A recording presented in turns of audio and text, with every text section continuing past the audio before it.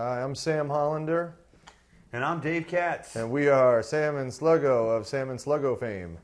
And uh, we are here because we're part of Rolling Stone's Hot Issue, which brings us significant amounts of joy and made my mom really happy. Yeah, my mom's happy too. All right, knowing that we'd be in the hot issue of Rolling Stone, we thought it was only fair to let you in on some of the records that uh, that Were important to us throughout our, that built our arsenal for that us. influence the goodness that Exactly. you will be celebrating.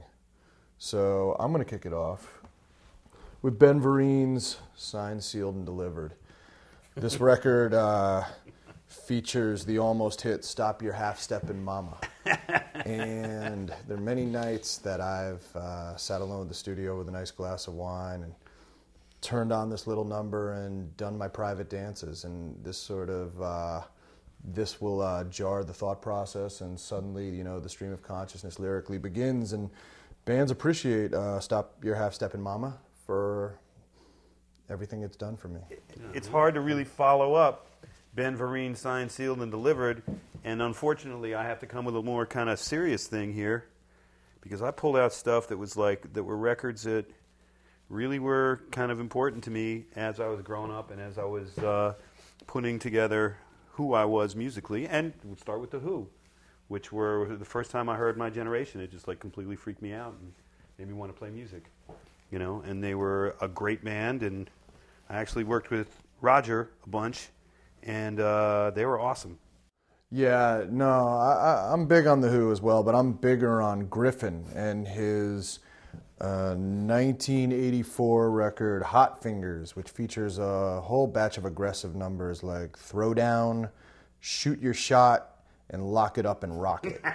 and I feel like Griffin was a style icon, and as you can see from this, he sort of set the Eddie Murphy thing off a couple of years earlier, a couple of years late, depending on your thing. There's also could be a nice little bit of Jheri curl. I can't tell. A Bit of Jheri Curl on there, man. Love that curl. It's really hard to follow those, dude, because there's nothing funny I can say really about the Velvet Underground. you can't really sort of have that kind of banter about the Velvet Underground. As a matter of fact, except for the banana. the banana, the banana's pretty funny, but other than that, there really wasn't anything funny about the Velvet Underground. And if I said something funny, Lou Reed would probably come and kill me. Everyone likes heroin. That was a fun song. Heroin was a very fun It was a song. poppy number. That was a really poppy number. As a matter of fact, and you know, who could not like, you know, when you're kind of down in the dumps, who wouldn't put Berlin on, right, just to cheer you right up? I love to listen to Berlin in the morning. It's because- my wife and it's my life. exactly. Earth shattering classic sports featuring a dapper, younger, gentler Huey Lewis. For many years, I've tried to put together the sports tribute band where I've uh, offered to sing and vocalize, and I can't seem to. Uh, I can't seem to put together that crew. They don't. No one really rallies for Huey the way I do. But this summer, I actually, uh, I spent uh, July 3rd in Coney Island with Huey Lewis and the News serenading me by Astroland, and that was the most. I think that was the most stunning moment of 2008 for me.